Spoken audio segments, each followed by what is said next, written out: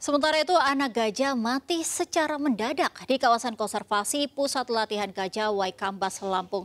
Dugaan sementara, gajah mati karena terserang penyakit.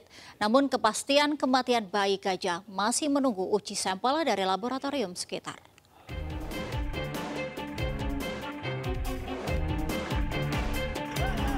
Inilah Topan, anak gajah yang ditemukan mati oleh petugas pawang gajah di lokasi konservasi Pusat Latihan Gajah Waikambas, Lampung. Gajah jantan berusia 4 tahun 7 bulan tersebut dievakuasi dengan cara ditarik tubuhnya menggunakan mobil patroli dibantu gajah dewasa.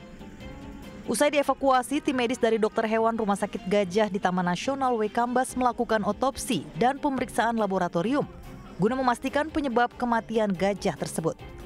Sementara pihak kepolisian telah melakukan olah TKP di lokasi ditemukannya anak gajah yang mati tersebut.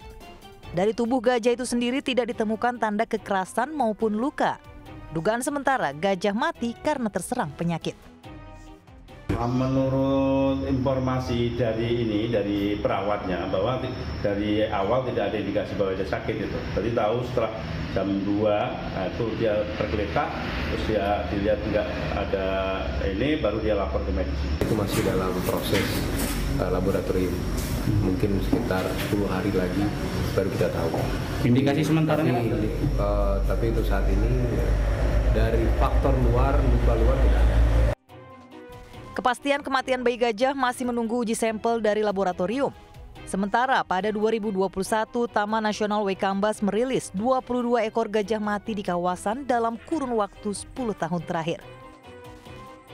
Dari Lampung Timur, Lampung, Heri Fulistiawan, iNews melaporkan.